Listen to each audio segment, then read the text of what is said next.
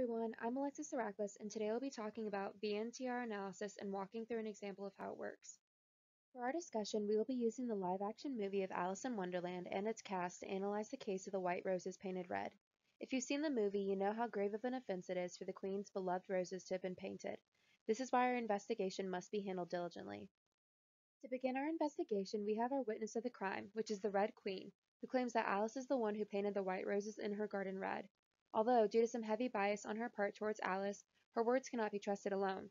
This is where VNTR analysis comes into play.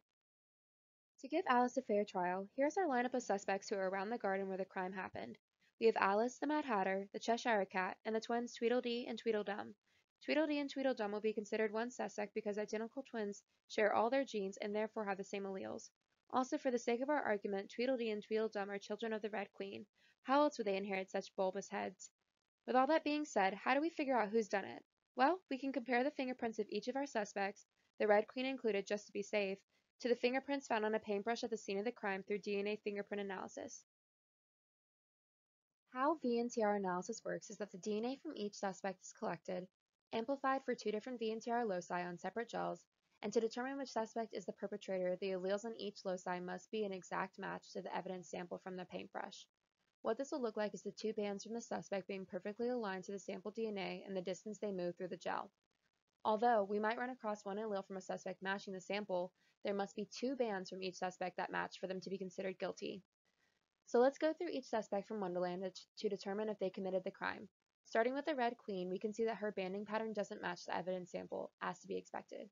The same can be said for the Mad Hatter and the Tweedle twins, whose alleles do not match the evidence sample. Something to note though is the parentage of the twins can be seen because they inherited one allele from their mother, the Red Queen, while the other allele would come from their father, who is unknown.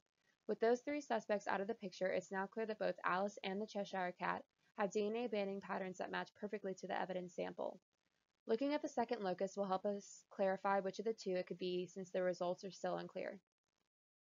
Looking at this loci, I'd like for you to pause the video and try to determine who is guilty by yourself. Did you figure it out?